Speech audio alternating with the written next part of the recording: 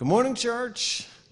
Good morning to all also who have joined online. Uh, we got a good crowd this morning here and a good crowd joining us over the internet. So it's great to be uh, worshiping together and beginning uh, our time in God's presence on this very, very holy day. Today is Maundy, Thursday. Um, the name that, that uh, the church has given to this day comes from what the Lord taught us on this day a new commandment. A new commandment, a mandatum novum. And uh, from that name, uh, the new commandment, mandatum novum, we get the name Maundy, Thursday. Uh, last Sunday, I talked about how it's not a new suggestion, it's not a new philosophy, it's not new advice. It is a new commandment. Our Lord uh, leads us and He commands us uh, to learn to love as He has loved us and to find new life in living that love. Uh, we have a Maundy, Thursday service this evening, a joint service with uh, First Presbyterian Church just right down the road here on Church Row, and Emily is going to be preaching at that service tonight. We'll be uh, doing that service, officiating that service together with the Presbyterians. And uh, tomorrow uh, we'll have our last Holy Week service uh, with uh, uh, Pastor Vince Smith of the First Baptist Church coming to join with us. the evening service will be in the Wesley Center, a service of darkness. How many of y'all have been to the Tenebrae service, the service of darkness? Uh, it's an extremely powerful service, and it allows us to sort of experience the death of our Lord, to feel uh, the power of what He has done for us, and to grieve with Him, uh, the one who has loved us first, and we have learned to love as He uh, gives His life for us and for the salvation of the world. And so that'll be at 6 o'clock in the, um, in the Wesley Center. Easter is at 9 a.m. Bring a friend. We'll be here in the sanctuary. We are taking communion. It's the first of the month. And our worship team and uh, our executive team have been working very hard to figure out a way to take communion safely. And I think we've got it. I think we've got it. So uh, that'll be a blessed time. We haven't had a Sunday morning church wide communion for over a year. We have fasted the Lord's Supper for a year. And that has been really, really hard on me because I like to take communion as often as possible, several times a week if I can. And uh, we haven't had that opportunity. So, so uh, this Sunday is going to be Easter. It's going to be a glorious, glorious Easter in many, many ways. We'll experience a new beginning, a new life. And so make sure to bring Bring a, a, a, a pew full. Bring a pew full. And let's pack the house with the Alleluias of Easter. Well, let's begin our morning together by singing. One of my very, very favorite, favorite Maundy, Thursday songs is Jesu, Jesu. It's number 432. It may be a little bit unfamiliar to you, but uh, allow the words and the song to get into your soul, and it will touch you deeply. Let's stand as we sing together number 432, Jesu, Jesu.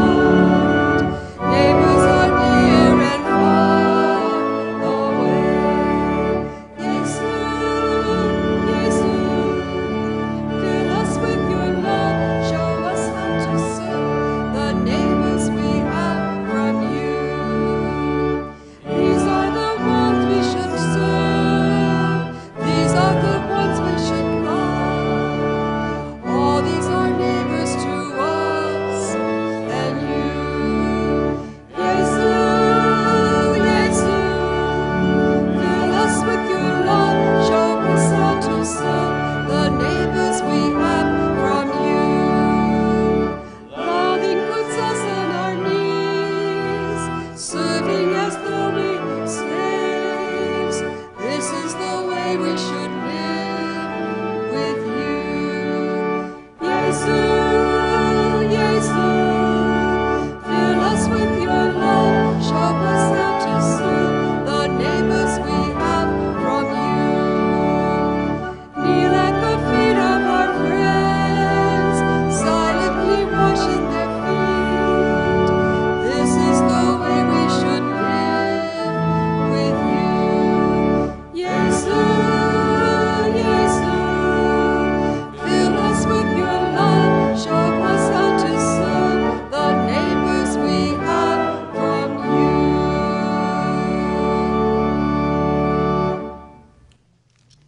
Please be seated.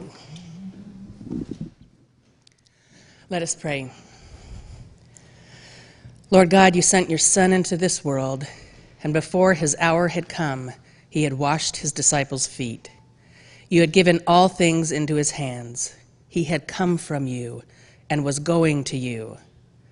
And he knelt down on the floor and washed his friends' feet. He was their teacher and their Lord, yet he washed their feet. Lord God, help us to learn from his example. Help us to do as he has done for us. The world will know we are his disciples if we love one another. Strengthen our hands and our wills for love and for service. Keep before our eyes the image of your Son, who, being God, became a servant for our sake. All glory be to him who lives and reigns with you in the Holy Spirit, now and forever. Amen.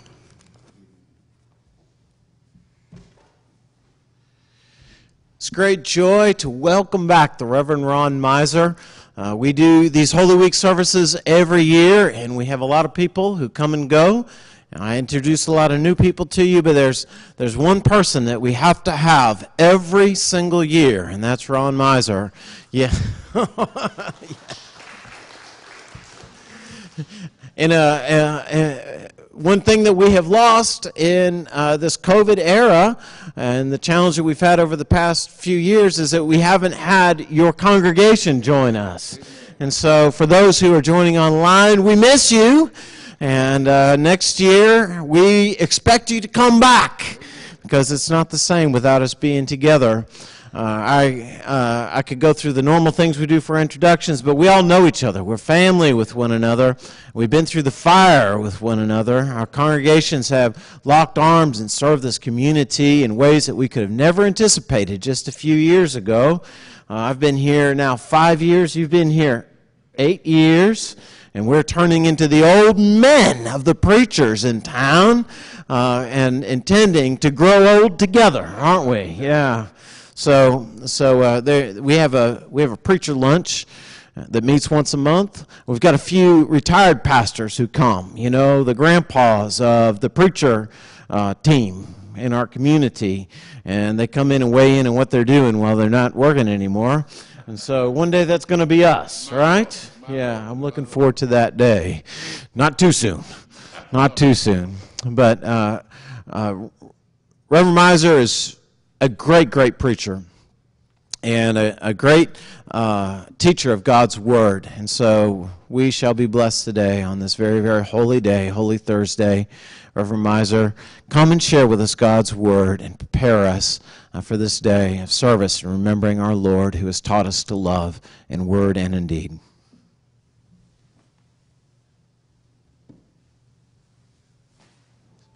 Good morning.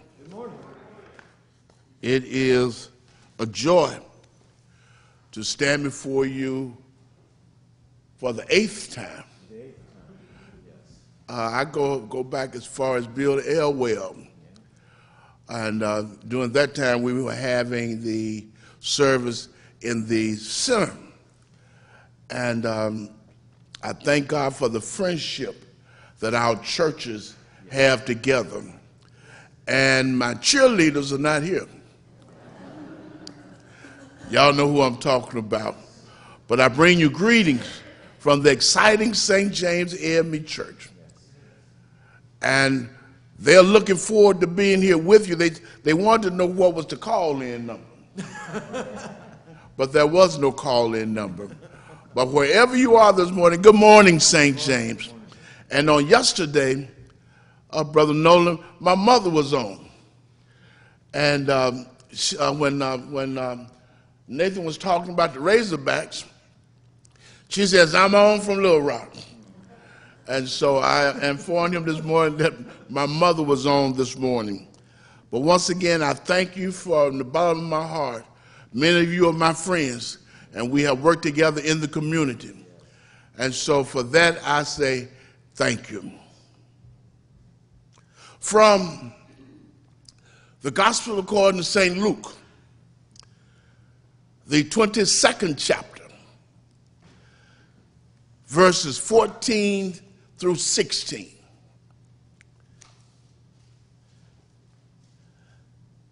I will be reading from the Message Contemporary Translation. And the reason this fashion, when it was time, he sat down, all the apostles with him, and he said, You've no idea how much I have looked forward to eating this Passover meal with you before I enter my time of suffering. It's the last one I will eat with you until we all, say we all. I got y'all that time.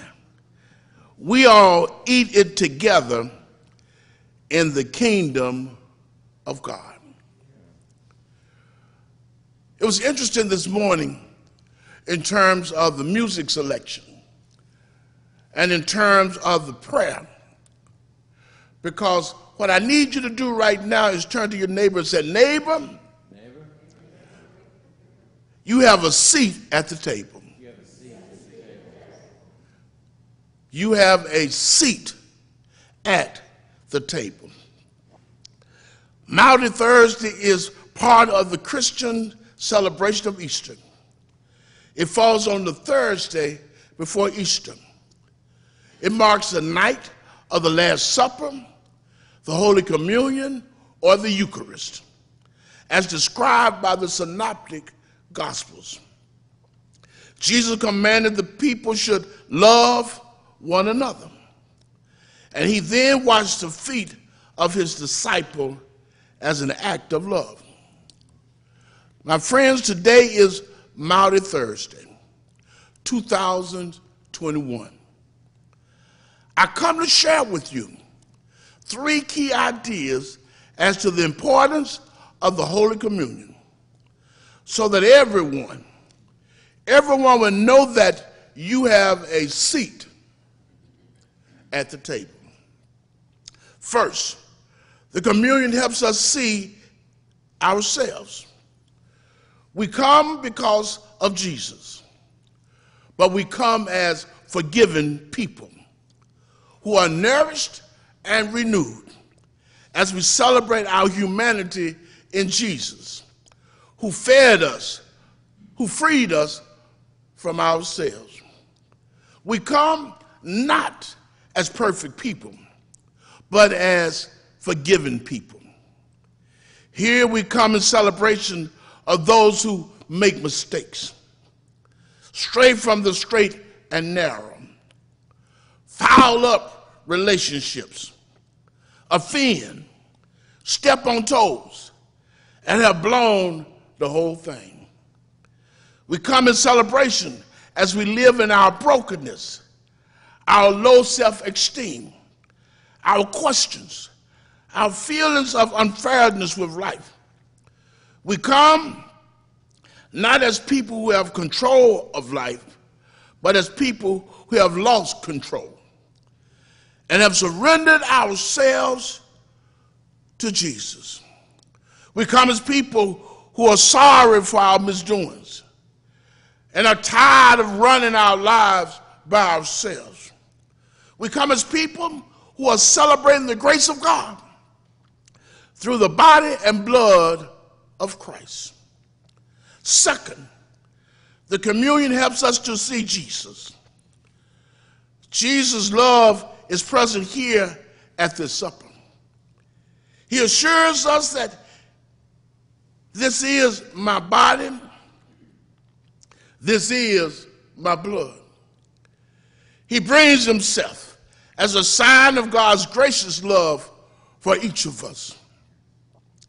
As we leave communion, we leave with a bit of Jesus in our bodies, our hearts, and our souls. When we leave, we continue our faith walk with a reminder of God's grace, God's love, and the peace of Jesus inside of us. As we go about our daily walk as a sign of God's presence in our lives in the form of the bread and wine and body and blood. Thirdly, Communion helps us see our connection with one another. Food has always been a way of bringing people together for sharing or discussing, of learning about one another. So here at communion, there should be a sense of that community. We should love one another. Jesus is that kind of friend who loved us. I ask you, can you be too?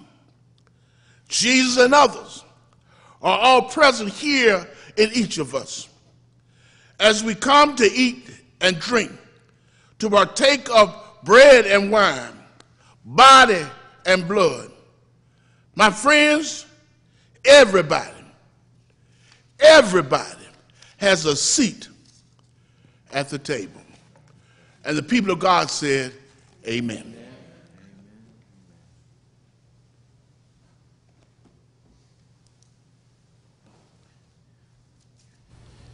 Thank you. What a day. What a day.